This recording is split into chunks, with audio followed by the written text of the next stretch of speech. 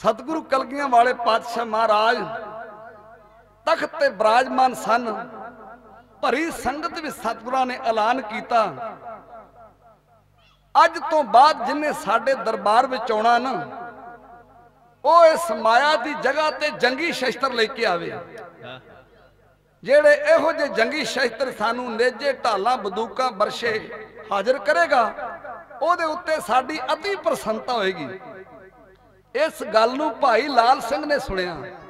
ਜੋ ਇੱਕ ਮਿਸਤਰੀ ਸਿੰਘ ਸੀ ਤੇ ਕਾਰੇਗਰੇ ਦਾ ਕੰਮ ਕਰਿਆ ਕਰਦਾ ਸੀ। ਉਹਨੇ ਤਿੰਨ ਸ਼ਸਤਰ ਮਹਾਰਾਜ ਵਾਸਤੇ ਤਿਆਰ ਕੀਤੇ।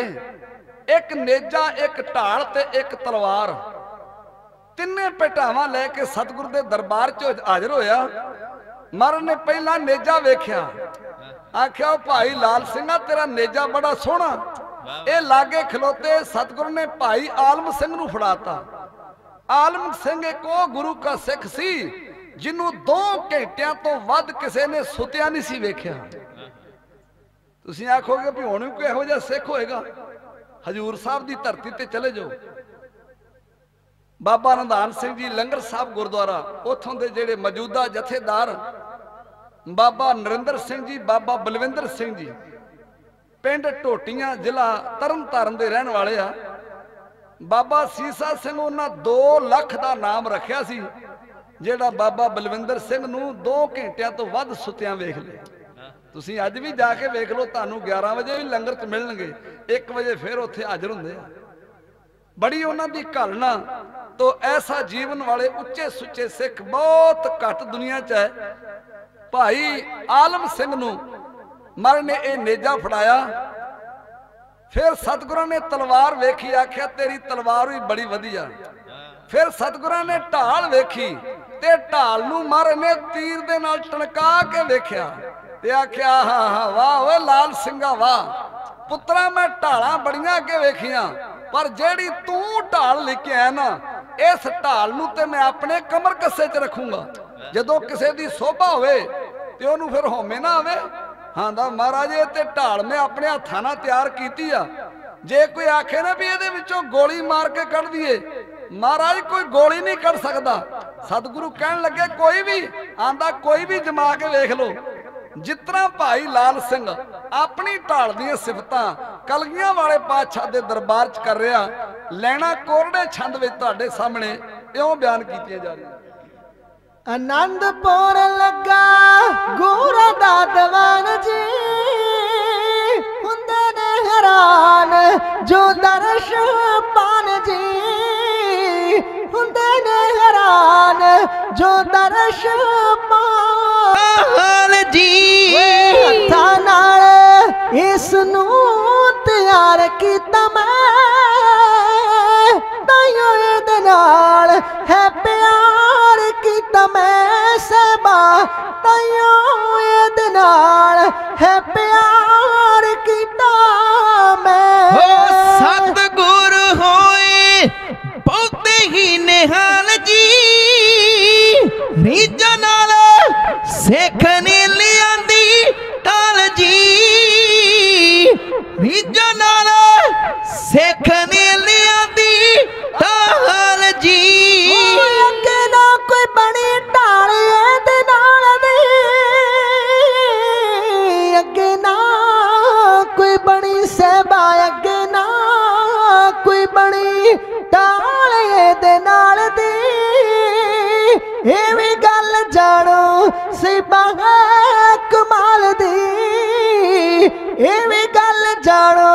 ਸਿਬਾ ਕਮਾਲ ਦੀ। ਹੋ ਝੂਠ ਨਾ ਮੈਂ ਆਖਾਂ ਸੱਚ ਹੈ ਗੋਪਾਲ ਜੀ। ਰੀਜਾਂ ਨਾਲ ਸਿੱਖ ਨੇ ਲਿਆਂਦੀ ਟਾਲ ਜੀ। ਰੀਜਾਂ ਨਾਲ ਸਿੱਖ ਨੇ ਲਿਆਂਦੀ ਟਾਲ ਜੀ। ਪਵੇਗਾ ਨਾ ਇਹਨੂੰ ਸਹਿਬਾ ਪਵੇਗਾ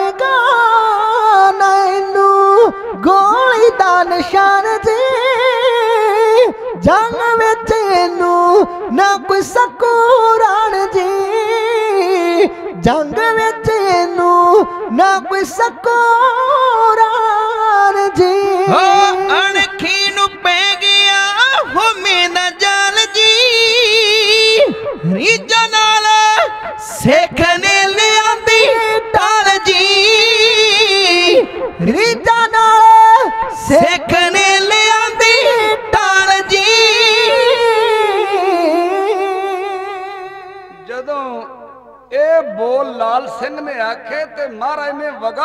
ਕੇ ਢਾਲ ਲਾਲ ਸਿੰਘ ਵਾਲੀ ਮਾਰੀ। ਵਾਹ ਵਾਹ ਤੇ ਬਚਨ ਪਤਾ ਕੀ ਕੀਤੇ?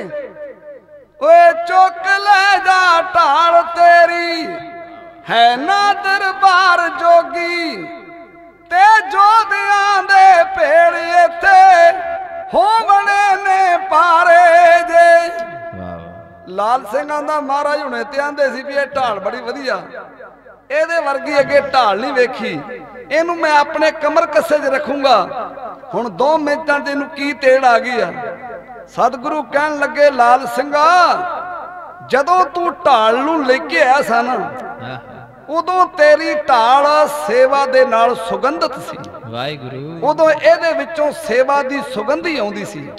ਹੁਣ ਇਹਦੇ ਵਿੱਚੋਂ ਹਉਮੈ ਦੀ ਦਰਗੰਧੀ ਆਉਂਦੀ ਆ। ਤੇਰੀ ਢਾਲ ਨੇ ਇੱਥੇ ਕੰਮ ਨਹੀਂ ਕਰਨਾ। ਹਉਮੈ ਨਾਵੇਂ ਨਾਲ ਵਿਰੋਧ ਹੈ। ਦੋਏ ਨਾ। ਦੋਏ ਨਾ ਵਸੇ, ਇੱਕ ਥਾਏ ਹਉਮੈ ਤੇ ਰੱਬ ਦਾ ਪਿਆਰ ਇੱਕ ਹਿਰਦੇ 'ਚ ਨਹੀਂ ਰਹਿ ਸਕਦਾ। ਤੇ ਤੇਰੇ ਅੰਦਰ ਤੇ ਹਉਮੈ ਬੋਲਦੀ ਆ। ਹਉਮੈ ਬੁਰੀ ਚੀਜ਼ ਹੈ। ਮਹਾਰਾਜ ਕਹਿਣ ਲੱਗੇ, ਲਾਲ ਸਿੰਘਾ, ਤੇਰੀ ਇੱਥੇ ਢਾਲ ਨੇ ਕੰਮ ਨਹੀਂ ਕਰਨਾ। ਕਲਗੀ ਤਾਰਾ? ਮੁਖ ਸੇ ਫਰਮਾਏ, ਇਹ ਗੋਲੀ ਹੈ ਬੁਰੀ ਬਲਾਏ ਲਾਲ ਸਿੰਘਾ, ਗੋਲੀ ਬੜੀ ਬੁਰੀ ਬਲਾਈ ਜਿੱਥੇ ਵੱਜਦੀ, ਛੱਡਦੀ ਕੋਈ ਨਹੀਂ ਤੇਰੀ ਇੱਥੇ ਢਾਲ ਨੇ ਕੰਮ ਨਹੀਂ ਕਰਨਾ। ਇੱਥੇ ਤੇ ਬੜੇ ਬੜੇ ਤਕੜੇ ਯੋਧੇ ਬੈਠੇ ਆ। ਮਹਾਰਾਜ ਕਿਹੋ ਜਿਹੇ ਯੋਧੇ ਆ? ਓਏ ਠੀਕਰੇ ਹਜ਼ਾਰ ਝੱਟ। ਹੋਣ ਇਹਦੇ ਇਸੇ ਵੇਲੇ। ਤੇ ਥੱਪੜ ਜੇ ਮੇਰਾ, ਇੱਕ ਸਿੰਘ ਇਹਦੇ ਮਾਰੇ ਜੇ। ਮੇਰਾ ਸਿੰਘ ਤੇ ਇੱਕ ਥੱਪੜ ਮਾਰਦੇ ਨਾ। ਤੇਰੀ ਢਾਲ ਦੇ ਹਜ਼ਾਰਾਂ ਠੀਕਰੇ ਕਰਕੇ ਰੱਖ ਦੇ। ਇੱਥੇ ਤੇ ਉਹ ਯੋਧੇ ਬੈਠੇ ਆ। ਉਹ ਜਿਹੜੇ ਸੱਤ ਸੱਤ ਤਵੀਆਂ ਨੂੰ ਪਾੜ ਕੇ ਤੇ ਹਾਥੀ ਦਾ ਮੱਥਾ ਵਿੰਨ ਦਿੰਦੇ ਆ, ਤੂੰ ਗੱਲਾਂ ਢਾਲਦੀਆਂ ਕਰਦਾ। ਜਾ ਲੈ ਜਾ, ਇਹਨੂੰ ਹੋਰ ਲੋਹਾ ਥੱਪ ਲਾ ਇਹਨੂੰ ਹੋਰ ਆਬਾਂ ਦੇ ਲਾ, ਹੋਰ ਟੈਂਪਰ ਦੇ ਲਾ।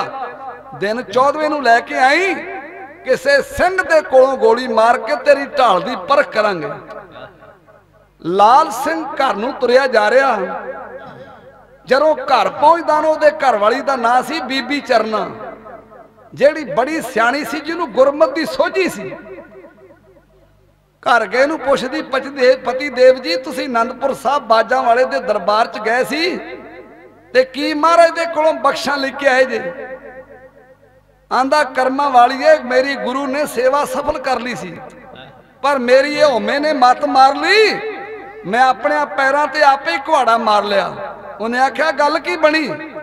ਆਂਦਾ, ਮਹਾਰਾਜ ਨੇ ਢਾਲ ਦੀ ਬੜੀ ਸਿਫਤ ਕੀਤੀ। ਪਰ ਮੈਂ ਮਾਣ ਵਿੱਚ ਇਹ ਆਖ ਬੈਠਾ ਵੀ ਮਹਾਰਾਜ, ਇਹ ਢਾਲ ਬੜੀ ਪੱਕੀ ਏ ਚੋਂ ਕੋਈ ਗੋਲੀ ਨਹੀਂ ਕੱਢ ਸਕਦਾ। ਤੇ ਗੁਰੂ ਸਾਹਿਬ ਕਹਿੰਦੇ ਵੀ ਇਹ ਢਾਲ ਨੂੰ ਹੁਣ ਚੰਗੀ ਤਰ੍ਹਾਂ ਪੱਕੀ ਕਰਕੇ ਲਿਆ। ਘਰ ਵਾਲੀ ਨੇ ਆਖਿਆ, ਕਰਮਾਂ ਵਾਲਿਆ, ਤੈਨੂੰ ਇਹ ਨਹੀਂ ਪਤਾ ਤੂੰ ਕਿਹੜੇ ਦਰਬਾਰ 'ਚ ਗਿਆ ਸੀ। ਤੇ ਉਹ ਕਲਗੀਆਂ ਵਾਲੇ ਪਾਤਸ਼ਾਹ ਦੀਨ ਦੁਨੀਆ ਦੇ ਮਾਲਕ ਜੇ ਜਿਉ ਚਾਹਣੋ ਤੇ ਪਹਾੜਾਂ ਦਲੀਆਂ ਪਹਾੜਾਂ ਦੀਆਂ ਚੋਟੀਆਂ ਥਾਣੀ ਗੋਲੀਆਂ ਕੱਢ ਸਕਦੇ ਆ। ਤੇ ਤੂੰ ਢਾਲਦਾ ਹੀ ਮਾਣ ਕਰ ਲਿਆ। ਇਤਿਹਾਸਕਾਰ ਲਿਖਦੇ ਇੰਨਾ ਸ਼ਰਮਸਾਰ ਲਾਲ ਸਿੰਘ ਹੋਇਆ, ਅੰਦਰ ਵੜ ਗਿਆ ਤੇ ਦੋ ਦਿਨ ਰੋਟੀ ਨਹੀਂ ਖਾਧੀ ਲਾਲ ਸਿੰਘ ਨੇ। ਫਿਰ ਕੋਈ ਰੱਬ ਦਾ ਪਿਆਰਾ ਮਿਲ ਗਿਆ। ਤੇ ਰੱਬ ਦਿਆਂ ਪਿਆਰਿਆਂ ਨੂੰ ਪਤਾ ਹੁੰਦਾ ਰੱਬ ਨਾਲੋਂ ਟੁੱਟ ਚੁੱਕੀਆਂ ਰੂਹਾਂ ਨੂੰ, ਰੱਬ ਦੇ ਨਾਲ ਮੁੜ ਕੇ ਜੋੜਨਾ ਕਿਤਰਾ। ਗੁਰਮੁਖ ਜੋੜਦੇ ਆ ਤੇ ਸਾਖਤ ਤੋੜਦੇ ਆ। ਸਾਖਤ ਦਾ ਬੜਾ ਸੁੰਦਰ ਪ੍ਰਮਾਣ ਗੁਰਬਾਣੀ ਚ ਆਇਆ। ਕਬੀਰ, ਮਾਰੀ ਮਰੂ ਕੋ ਸੰਗ ਕੀ? ਕੇਲੇ ਨਿਕਟ ਜੋ ਬੇਰਾ? ਓ ਝੂਲੇ, ਓ ਚੀਰੀਆ ਸਾਖਤ ਸੰਗ ਨਹੇਰਾ। ਤੋ ਕੋਈ ਰੱਬ ਦਾ ਪਿਆਰਾ ਮਿਲਿਆ। ਉਹਨੇ ਆਖਿਆ, ਲਾਲ ਸਿੰਘਾ, ਏਦਾਂ ਕਰ। ਹੁਣ ਘਾਬਰ ਨਾ। ਪੰਜ ਨਿਤਨੇਮੀ ਸਿੰਘ ਲੱਭ। ਜਿਹੜੇ ਬਾਣੀ ਤੇ ਬਾਣੇ ਵਿੱਚ ਪਰਪੱਕ ਹੋਣ, ਜਿਹੜੇ ਗੁਰੂ ਕੀ ਰਹਿਤ ਵਿੱਚ ਪਰਪੱਕ ਹੋਣ, ਉਹਨਾਂ ਪੰਜਾਂ ਸਿੰਘਾਂ ਨੂੰ ਘਰ ਸੱਦ ਕੇ ਤੇ ਲੰਗਰ ਛਕਾ ਦੇ। ਇੱਕ ਸਿੰਘ ਅਰਦਾਸ ਕਰੂਗਾ, ਜੋ ਤੇਰੇ ਮਨ ਚ ਭਾਵਨਾ ਹੋਈ, ਉਹਨੂੰ ਲੈ ਕੇ ਬਹਿ ਜੀ, ਉਹ ਤੇਰੀ ਪੂਰੀ ਹੋ ਜਾਏਗੀ। ਗੁਰੂ ਕੇ ਸਿੱਖੋ, ਹੁਣ ਵੀ ਸਾਡੇ ਘਰ 'ਚ ਕੋਈ ਬਿਪਤਾ ਬਣ ਜੇ। ਕੋਈ ਮੁਸੀਬਤ ਆ ਪਵੇ, ਕੰਮ, ਕੰਮਾਂ 'ਚ ਵਿਘਨ ਪੈਂਦੀ, ਹੁਣ ਕੋਈ ਕੰਮ ਸਿਰੇ ਨਾ ਚੜਦਾ ਹੋਵੇ। ਤੇ ਪਖੰਡੀਆਂ ਦੇ ਡੇਰਿਆਂ ਤੇ ਜਾਣ ਦੀ ਲੋੜ ਨਹੀਂ। ਮੜੀਆਂ ਮਸਾਣਾ ਜੰਡੀਆਂ ਨੂੰ ਪੂਜਣ ਦੀ ਲੋੜ ਨਹੀਂ। ਤੁਸੀਂ ਹੁਣ ਵੀ ਉਸੇ ਤਰ੍ਹਾਂ ਪੰਜ ਨਿਤਨੇਮੀ ਸਿੰਘ ਬੁਲਾਓ। ਉਹਨਾਂ ਨੂੰ ਲੰਗਰ ਛਕਾਓ। ਜਿਹੜੀ ਉਹ ਅਰਦਾਸ ਕਰਨਗੇ, ਉਹਨਾਂ ਦੀ ਉਹ ਪੂਰੀ ਹੋਏਗੀ। ਤੇ ਮੈਂ ਨਹੀਂ ਆਂਦਾ ਵੀ ਜਦੋਂ ਬਿਪਤਾ ਬਣੀ ਲੰਗਰ ਉਦੋਂ ਹੀ ਛਕਾਉਣਾ। ਨਹੀਂ, ਸੁਖ ਵੇਲੇ ਵੀ ਛਕਾ ਦਿਆ ਕਰੋ। ਸਿੱਖਾਂ ਦੇ ਲੰਗਰ ਦੀ ਬੜੀ ਵੱਡੀ ਸੇਵਾ ਹੈ। ਰਹਿਤਨਾਮੇ ਦੇ ਬਚਨ ਸ਼ਾਇਦ ਤੁਹਾਨੂੰ ਕਿਸੇ ਨਾ ਸੁਣਾਏ ਹੋਣ। ਕਲਗੀਧਰ ਪਾਤਸ਼ਾਹ ਦੇ ਬਚਨ ਹਨ। ਕਰ ਪ੍ਰਸ਼ਾਦ ਸਿੱਖ ਮੁਖ ਪਾਵੇ। ਤਿਸ ਸਿੱਖ ਕੇ ਗੁਰਵਾਰ ਨੇ ਜਾਵੇ। ਸਿੱਖ ਕੋ ਸਿੱਖ ਜੋ ਅੰਬਰ ਦੀਨਾ ਕੋਟ ਸਮੇਦ ਜਗ ਫਲ ਕੀ ਕੀਨਾ ਚਾਪੀ ਕਰਹਿ ਮਲੇ ਸਿੱਖ ਚਰਨਾ। ਤਿਸ ਸਿੱਖ ਕੋ ਮੈਂ ਲੀਨੋ ਸਰਨਾ। ਜਿਸ ਤਰ੍ਹਾਂ ਕੋਈ ਸੱਤ ਮੰਦਰ ਸੋਨੇ ਦੇ ਬਣਾ ਕੇ ਦਾਨ ਕਰ ਦਵੇ, ਇੰਨਾ ਪੁੰਨ ਕਿਸੇ ਨੂੰ ਬਾਣੀ ਸਿਖਾਏਦਾ ਹੈ। ਵੀਰੋ, ਭਰਾਓ, ਭੈਣੋ, ਇਹ ਉਦਮ ਕਰਿਆ ਕਰੋ। ਅੰਮ੍ਰਿਤ ਵੇਲੇ ਜਿੱਥੇ ਆਪ ਬਾਣੀ ਪੜ੍ਹਦੇ ਨਾ, ਨਾਲ ਬੱਚਿਆਂ ਨੂੰ ਵੀ ਪੜਾਇਆ ਕਰੋ। ਸਤਿਗੁਰੂ ਕਿਰਪਾ ਕਰੇ, ਬੜਾ ਵੱਡਾ ਪੁੰਨ ਜੇ ਭਾਵੇਂ ਆਪਣੇ ਘਰ ਵਿੱਚ ਪੁੱਤ ਪੋਤਰੇ ਨੂੰ ਬਾਣੀ ਸਿਖਾ ਦਿਓ। ਜਿਤਨਾ ਕੋ ਸੱਤ ਮੰਦਰ ਸੋਨੇ ਦੇ ਬਣਾ ਕੇ ਦਾਨ ਕਰਦੇ ਇੰਨਾ ਪੁੰਨ ਕਿਸੇ ਨੂੰ ਬਾਣੀ ਸਿਖਾਇਦਾ ਹੈ। ਤੇ ਅੰਤਲੀ ਲੈਣ ਚ ਭਾਈ ਗੁਰਦਾਸ ਜੀ ਕਹਿੰਦੇ ਹਨ ਜੈਸੇ 20 ਬਾਰ ਦਰਸ਼ਨ ਸਾਧ ਕੀਆ ਕਾਹੂ ਤੈਸਾ- ਫਲ ਸੇ ਕੋ ਚਾ ਪਗ ਸਵਾਏ ਕਾ। ਜਿਤਨਾ ਤੁਸੀਂ ਪੂਰਨ ਸਾਧੂ ਦੇ 20 ਵਰਾਂ ਦਰਸ਼ਨ ਕਰ ਲਏ ਹੁਣ ਇੰਨਾ ਕਿਸੇ ਗੁਰੂ ਕੇ ਸਿੱਖ ਨੂੰ ਘਰ ਵਿੱਚ ਸੱਦ ਕੇ ਉਹਨੂੰ ਲੰਗਰ ਪਾਣੀ ਛਕਾਉਣਾ ਉਹਨੂੰ ਮੰਜਾ ਬਿਸਤਰਾ ਦੇਣਾ ਤੇ ਉਹਦੀ ਮੁੱਠੀ ਚਾਪੀ ਕਰਨ ਦਾ ਹੈ। ਸੰਤ ਬਾਬਾ ਜਰਨੈਲ ਸਿੰਘ ਜੀ ਖਾਲਸਾ ਪਿੰਡਰਾਂ ਵਾਲੇ, ਉਹਨਾਂ ਦੇ ਪੈਰਾਂ ਤੇ ਕਿਸੇ ਨੇ ਮੱਥਾ ਟੇਕਤਾ। ਉਹਨਾਂ ਉਹਨੂੰ ਵਰਜਿਆ, ਉਹ ਮੱਥਾ ਸਰੀਰਾਂ ਨੂੰ ਨਹੀਂ ਟੇਕੀਦਾ ਹੁੰਦਾ, ਮੱਥਾ ਗੁਰੂ ਸਾਹਿਬ ਨੂੰ ਟੇਕੀਦਾ ਹੁੰਦਾ। ਉਹ ਸਿੱਖ ਨੇ ਅੱਗੇ ਬਾਣੀ ਦੀ ਪੰਕਤੀ ਉਚਾਰਨ ਕਰ ਦਿੱਤੀ। ਜੋ ਦਿਸੈ ਗੁਰ ਸਿਖੜਾ ਤਿਸ ਨਿਵ ਨਿਵ ਲਾਗੋ ਪੈ ਜਿਓ। ਤੇ ਮਹਾਂਪੁਰਸ਼ਾਂ ਨੇ ਉਸ ਪੰਕਤੀ ਦੇ ਅਰਥ ਨਹੀਂ ਉਲਟਾਏ। ਉਹਨਾਂ ਆਖਿਆ, ਉਹ ਸਿੱਖ ਅਜੇ ਅਸੀਂ ਬਣੇ ਨਹੀਂ ਗਏ ਜਿਹੜੇ ਗੁਰੂ ਕੀ ਬਾਣੀ ਨੇ ਆਖਿਆ। ਭਾਈ ਲਾਲ ਸਿੰਘ ਨੇ ਪੰਜ ਨਿਤਨੇਮੀ ਸਿੰਘ ਲੱਭੇ। ਤੇ ਬੀਬੀ ਚਰਨਾ ਨੇ ਸਤਨਾਮ ਸ੍ਰੀ ਵਾਹਿਗੁਰੂ ਇਹ ਕਹਿ ਕੇ ਆਟੇ 'ਚ ਜਲ ਪਾਇਆ, ਬੜੇ ਸ਼ਰਧਾ ਭਾਵ ਨਾਲ ਲੰਗਰ ਤਿਆਰ ਕੀਤਾ। ਲਾਲ ਸਿੰਘ ਨੇ ਪੰਗਤਾਂ ਲਵਾ ਲੀਆਂ ਪੰਜਾਂ ਸਿੰਘਾਂ ਦੇ ਹੱਥ ਧਵਾਏ, ਫਿਰ ਲੰਗਰ ਛਕਾਇਆ, ਫਿਰ ਜਥਾ ਸ਼ਕਤ ਭੇਟਾ ਦਿੱਤੀ। ਪੰਜਾਂ ਸਿੰਘਾਂ ਨੂੰ ਲੰਗਰ ਛਕਾਇਆ। ਇੱਕ ਸਿੰਘ ਨੇ ਅਰਦਾਸ ਕੀਤੀ, ਨੌਵਾਂ ਗੁਰੂਆਂ ਤੱਕ, ਦਸਵੇਂ ਗੁਰੂ ਉਦੋਂ ਗਦੀ ਤੇ ਸਨ। ਦਾਣਾ ਪਾਣੀ ਗੁਰੂ ਕਾ ਟਹਿਲ ਭਾਵਨਾ ਸਿੱਖ ਦੀ ਲੇਖੇ ਲਾਉਣੀ ਤੇ ਸਿੱਖ ਦੀਆਂ ਮਨ ਦੀਆਂ ਭਾਵਨਾ ਸਤਿਗੁਰੂ ਪੂਰੀਆਂ ਕਰ ਦੇਣੀਆਂ। ਤੇ ਭਾਈ ਲਾਲ ਸਿੰਘ ਨੇ ਮਨ ਚ ਭਾਵਨਾ ਪਤਾ ਕੀ ਰੱਖੀ ਸੀ? ਇਹ ਨਹੀਂ ਰੱਖੀ ਸੀ ਵੀ ਮੈਂ ਅੱਗੇ ਹੰਕਾਰ ਕਰ ਬੈਠਾ, ਮੈਨੂੰ ਮਾਫ ਕਰ ਦੇ। ਉਹਨੇ ਮਨ ਚ ਸੰਕਲਪ ਇਹ ਰੱਖ ਲਿਆ ਵੀ ਕਲਗੀਆਂ ਵਾਲਿਆ ਪਾਤਸ਼ਾਹ, ਜਦੋਂ ਮੈਂ ਤੇਰੇ ਦਰਬਾਰ 'ਚ ਢਾਲ ਲੈ ਕੇ ਪਹੁੰਚਾ ਨਾ, ਮੇਰੀ ਢਾਲ ਨਾ ਟੁੱਟੇ। ਇਹ ਅਰਦਾਸ ਕਰਕੇ ਮੰਜ਼ਲਾ ਮਾਰਦਾ ਅਨੰਦਪੁਰ ਸਾਹਿਬ ਪਹੁੰਚ ਗਿਆ। ਵਾਰੀ ਆਈ ਤੇ ਢਾਰ ਰਾਕਿਆਂ ਦਾ ਮਹਾਰਾਜ ਨੂੰ ਹੁਣ ਪਰਖੋ। ਸਿੱਖ ਵੇਖ ਰਿਹਾ ਵੀ ਇਹਨੇ ਤੇ ਮਾਫੀਆਂ ਮੰਗਣੀਆਂ ਵੀ ਮੈਂ ਅੱਗੇ ਹੰਕਾਰ ਕਰ ਬੈਠਾ, ਮੈਨੂੰ ਮਾਫ ਕਰ ਦਿਓ। ਇਹ ਅੱਗੇ ਨਾਲੋਂ ਵੀ ਔਖਾ ਜਿਹਾ ਕੁੰਦਾ ਸਤਿਗੁਰੂ ਪਾਤਸ਼ਾਹ ਤਖਤ ਉੱਠੇ। ਕਹਿਣ ਲੱਗੇ ਵੀ ਲੈ ਚਲੋ ਇਹਨੂੰ ਸ਼ਹੀਦੀ ਬਾਗ ਵਿੱਚ। ਜਿੱਥੇ ਇੱਕ ਥੜਾ ਬਣਿਆ ਸੀ, ਜਿੱਥੇ ਮਹਾਰਾਜ ਆਪਣੇ ਸਿੱਖਾਂ ਨੂੰ ਨਿਸ਼ਾਨੇ ਮਾਰਨੇ ਸਿਖਾਇਆ ਕਰਦੇ ਸੀ। ਕਹਿਣ ਲੱਗੇ, ਲਾਲ ਸਿੰਘਾ ਇਹ ਢਾਲ ਨੂੰ ਉਹ ਥੜੇ ਉੱਤੇ ਰੱਖ ਦੇ। ਲਾਲ ਸਿੰਘ ਨੇ ਕੱਲੀ ਢਾਲ ਨਹੀਂ ਰੱਖੀ। ਆ ਵੀ ਥੜੇ ਤੇ ਨਾਲ ਚੜ ਗਿਆ। ਸਤਿਗੁਰੂ ਕਹਿਣ ਲੱਗੇ, ਉਹ ਗੋਲੀ ਤੇ ਢਾਲ ਦੇ ਮਾਰਨੀ ਆ। ਤੂੰ ਇੱਥੇ ਬੈਠਾ ਕੀ ਕਰਦਾ? ਹੁਣ ਸੁਣਿਓ, ਸਿੱਖੀ ਸ਼ਰਧਾ ਅਰਦਾਸਾਂ ਤੇ ਆਪਾਂ ਵੀ ਕਰਦੇ ਆ। ਤੇ ਗੁਰੂ ਦੇ ਦਰ ਤੋਂ ਨਿਆਮਤਾਂ ਵੀ ਸਿੱਖ ਵਾਸਤੇ ਆ ਰਹੀਆਂ ਹੁੰਦੀਆਂ। ਪਰ ਅਸੀਂ ਇਸ ਦਰ ਨੂੰ ਛੱਡ ਕੇ ਗਾਂ ਪਖੰਡੀਆਂ ਦੇ ਡੇਰਿਆਂ ਨੂੰ ਤੁਰ ਪੈਨੇ ਆ। ਗੁਰੂ ਕੇ ਸਿੱਖਾ ਭਾਈ ਲਾਲ ਸਿੰਘ ਨੇ ਆਖਿਆ, ਮਹਾਰਾਜ ਜੀ, ਤੁਸੀਂ ਗੋਲੀ ਚਲਵਾਓ ਜੇ ਇਹ ਢਾਲ ਬਜੂਗੀ ਤਾਂ ਬਜੂਆ ਨਹੀਂ ਤੇ ਜੀ ਕੇ ਕੀ ਲੈਣਾ?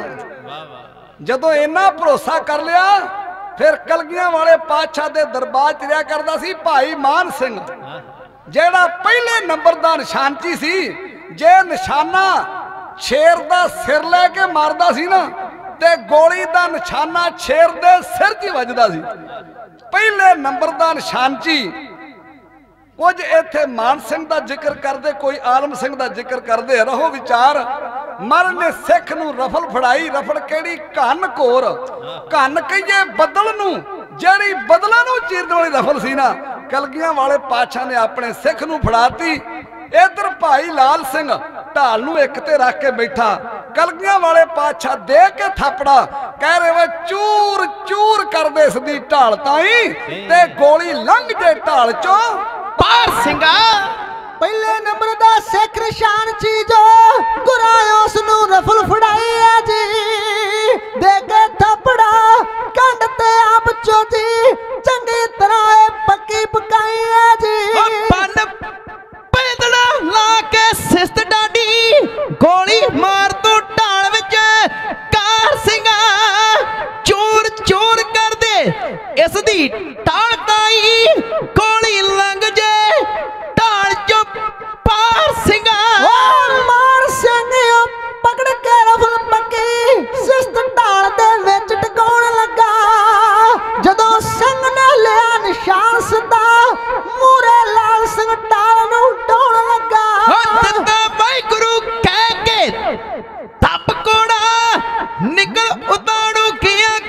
ਕਿਉਂ ਚੋਰ ਚੋਰ ਕਰਦੇ। ਇਸ ਦੀ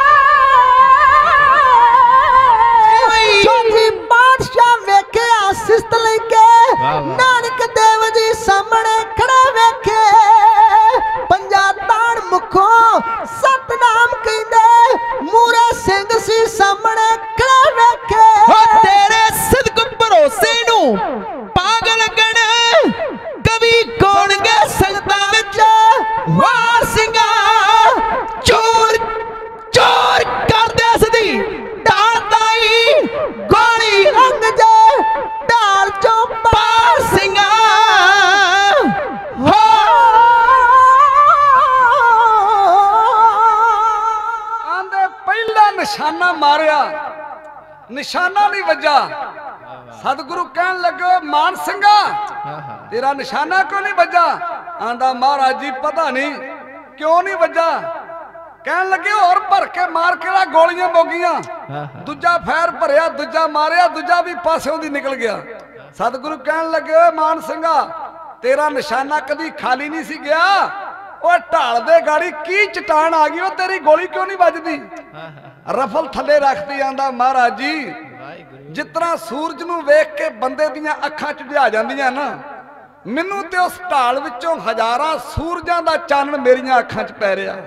ਮਹਾਰਾਜ ਮੈਂ ਗੋਲੀ ਕਿੱਥੇ ਮਾਰਾਂ? ਸਤਿਗੁਰ ਨੇ ਫਿਰ ਆਪ ਰਫਲ ਚੁੱਕ ਲਈ ਆ ਕਹਿਣ ਲੱਗੇ ਤਗੜਾ ਹੋ ਜਾ ਲਾਲ ਸਿੰਘਾ। ਵਾਹ! ਹੁਣ ਗੋਲੀ ਅਸੀਂ ਆਪ ਚਲਾਉਣੀ ਆ ਸਤਿਗੁਰ ਪਾਤਸ਼ਾਹ ਨੇ ਜਦੋਂ ਰਫਲ ਚੁੱਕੀ ਪੈਂਤਲਾ ਬੱਧਾ ਆਹਾ। ਸਿਸਤ ਲਈ ਪਰ ਸਤਿਗੁਰ ਨੇ ਘੋੜਾ ਨਾ ਦੱਬਿਆ। ਸੱਚ ਹੈ। ਫਿਰ ਸਤਿਗੁਰਾਂ ਨੇ ਨਿਸ਼ਾਨਾ ਲਿਆ।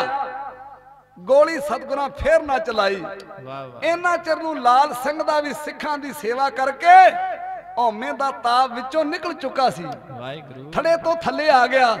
ਆਂਦਾ ਮਹਾਰਾਜ ਜੀ ਗੋਲੀ ਚਲਵਾ ਲਿਓ। ਪਰ ਇੱਕ ਬਚਨ ਚੇਤੇ ਕਰੋ। ਤੁਸੀਂ ਆਖਿਆ ਸੀ ਵੀ ਦਿਨ 14ਵੇਂ ਨੂੰ ਲੈ ਕੇ ਆ ਜੀ ਕਿਸੇ ਸਿੰਘ ਦੇ ਕੋਲੋਂ ਗੋਲੀ ਮਾਰ ਕੇ ਤੇਰੀ ਢਾਲ ਦੀ ਪਰਖ ਕਰਾਂਗੇ। ਮਹਾਰਾਜ ਤੁਸੀਂ ਆਪ ਨਹੀਂ ਸੀ ਆਖਿਆ। ਮੈਂ ਤੇ ਆਮ ਬੰਦਿਆਂ ਦੀ ਗੱਲ ਕੀਤੀ ਸੀ। ਕਲਗੀਆਂ ਵਾਲੇ ਪਾਤਸ਼ਾਹ ਨੇ ਕੁੱਟ ਕੇ ਗੱਲ ਵਕੜੀ ਚ ਲੈ ਲਿਆ। ਜਿਤਨਾ ਪਰਦੇਸਾਂ ਚ ਆਏ ਪੁੱਤ ਨਾਲ ਮਾਂ ਪਿਆਰ ਕਰਦੀ ਹੈ ਨਾ, ਸਤਿਗੁਰੂ ਇਤਨਾ ਰੱਜ ਰੱਜ ਕੇ ਲਾਲ ਸਿੰਘ ਨਾਲ ਪਿਆਰ ਕਰ ਰਿਹਾ ਲਾਗੋ ਦਇਆ ਸਿੰਘ ਨੇ ਪੁੱਛਿਆ, ਮਹਾਰਾਜ, ਇਹਨਾਂ ਚੋਜਾਂ ਦੀ ਕੋਈ ਸਮਝ ਨਹੀਂ ਲੱਗੀ ਵੀ ਹੋ ਕੀ ਰਿਹਾ? ਤੁਸੀਂ ਦੋ ਵਾਰਾ ਮਹਾਰਾਜ ਸਿਫਤ ਲਈ, ਪਰ ਤੁਸੀਂ ਗੋਲੀ ਕਿਉਂ ਨਾ ਢਾਲਦੇ ਮਾਰੀ? ਸਤਿਗੁਰੂ ਕਹਿਣ ਲੱਗੇ, ਪਿਆਰੇ ਦਇਆ ਸਿੰਘ ਜੀ ਤੈਨੂੰ ਕੀ ਦਸੀਏ? ਲਾਲ ਸਿੰਘ ਨੇ ਪ੍ਰਬੰਧ ਏਡੇ ਕਰੜੇ ਕਰ ਲਏ ਸੀ। ਓਏ ਢਾਲ ਤੇ ਨੌਵਾਂ ਗੁਰੂਆਂ ਨੇ ਹੱਥ ਪਾਏ ਸੀ ਅਸੀਂ ਨਿਸ਼ਾਨਾ ਕਿੱਥੇ ਮਾਰਦੇ? ਢਾਲ ਤੇ ਸ਼ਹੀਦਾਂ ਸਿੰਘਾਂ ਨੇ ਹੱਥ ਪਾਏ ਸੀ। ਅਸੀਂ ਗੋਲੀ ਕਿੱਥੇ ਚਲਾਉਂਦੇ?